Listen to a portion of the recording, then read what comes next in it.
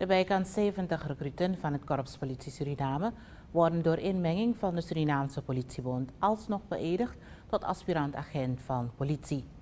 Volgens Revelino Eijk, woordvoerder van de SPB, heeft het bestuur vanmorgen een gesprek gehad met justitieminister Kenneth Amoxi, waarbij alle punten uit de ingediende motie zijn besproken.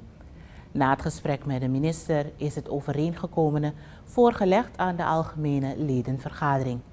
Eijk benadrukt dat de recruten het goede nieuws met een staande ovatie hebben verwelkomd. Ze worden dus 14 december aanstaande worden bevorderd. Ja, ze zijn natuurlijk heel erg blij. Ik moet u zeggen, deze mensen hebben die opleiding. In elk geval hebben ze hun, selectietraject is eigenlijk sinds 2017 begonnen, deze recruten. Um, ze zouden dus in feite 2018 moeten beginnen, dat is toen niet gebeurd. Uiteindelijk 2019, 15 mei 2019 zijn ze begonnen. En ze zouden die opleiding dus moeten eindigen 15 mei 2020 dit jaar. Vanwege die COVID-pandemie is dat ook natuurlijk uh, veel langer geworden. Dus ze hebben geen uniform gehad. Ik heb het altijd tegen ze gezegd, het is eigenlijk een pechlichting. Ze hebben totaal niets gehad, geen uniform, geen enkel attribuut hebben ze gehad van de overheid. Toch? En om dan nog te komen horen nu, dat ze na bijkans anderhalf jaar, veel langer dan wat het eigenlijk zou moeten zijn, dat ze weer niet bevorderd zouden worden. Dus ik begrijp natuurlijk wat hun blijdschap is. Uh, zijn mensen die nog steeds een stipendium ontvangen van 1400 SAD. Wat moeten zulke mensen doen aan het eind van de maand? Zijn mensen, zijn, zijn mensen met, uh, sommigen hebben een man, anderen hebben vrouw, kinderen.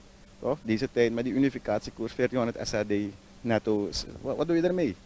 Tijdens het gesprek met minister Amoxie heeft het bondsbestuur ook andere dringende zaken, zoals de nachtdiensttoelagen en voedingsgeld besproken nog geen percentage. We hebben elk geval alvast gevraagd naar een verhoging. Kijk, die uh, voedingstoelage is nu 48 SAD. Toch? Uh, ja, wat eet je tegenwoordig met een 48 SAD wanneer je uh, moet doorwerken? Toch? we hebben dus gevraagd naar een 100, 100 SRD, die nachtdiensttoelage naar 120. Maar dat zijn bedragen, voorlopige bedragen, omdat wij januari moeten beginnen met onderhandelingen over ons wensenpakket die wij al jaren hebben ingediend bij de overheid. En tot nog, tot nog toe nog niet van de grond is gekomen. Die, toelagen die worden ook bij dat, uh, de behandeling van het wensenpakket meegenomen. Evelino Eijk, woordvoerder van de Surinaamse politiebond.